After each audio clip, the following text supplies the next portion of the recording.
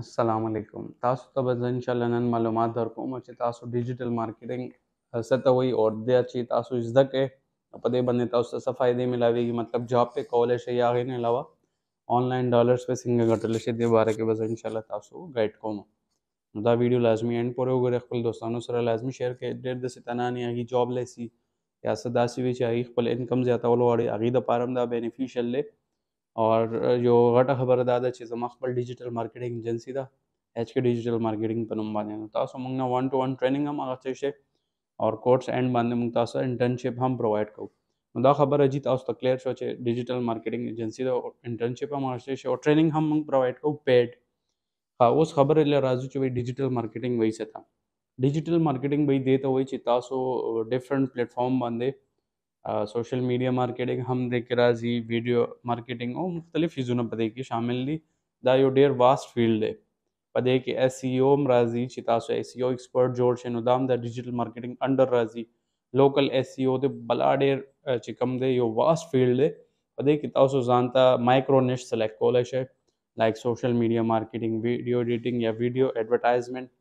او داسې نور ډېر څیزونه دي خو بیسیکلی مقصد دا دی چې انټرنیټ په تھرو باندې تاسو مارکیټینګ کوئ نو ځکه دې ته ډیجیټل مارکیټینګ وایي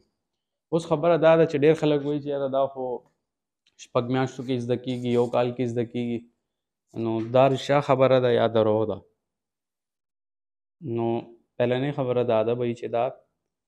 څه حد پورې ټیک ده لایک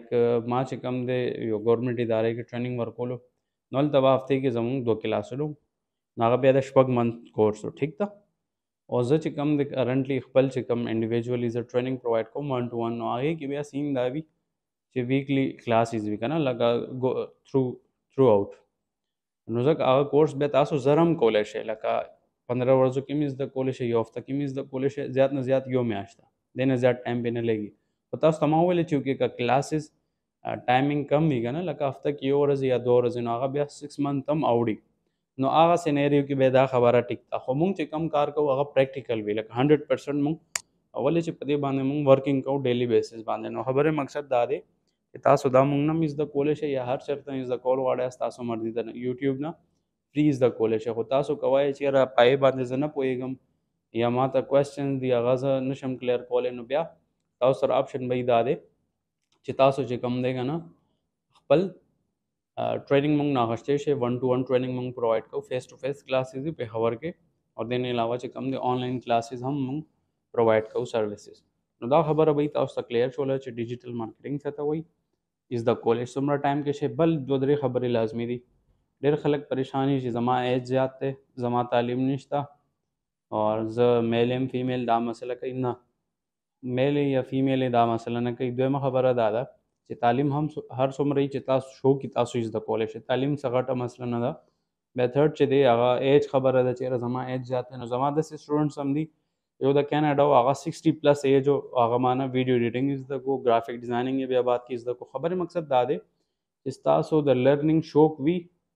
نو څنګه تاسو ته مو وویل چې زما یو سټوډنټ او کینیډا هغه سکسټي پلس ایج و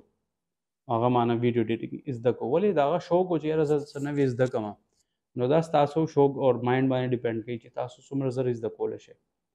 نو دې کې د تعلیم او دیش عمر او دیش زونو خبره نشته بل ډېر خلک سوچ کوي چې یاره زه دې به ما ته اوس فایده سوي زه ټیک ته ما وکړو زده مې کو نو فائدہ فائدہ به دا ده چې آنلاین مارکیټینګ هر چا ته پکاري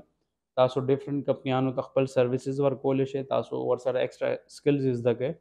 ویډیو ایډیټینګ شو ګرافیک ډیزاینینګ نو تاسو ته په بیس باندې یو ښه جاب هم ملاوي دی شي چې کوم آفس بیس جاب وي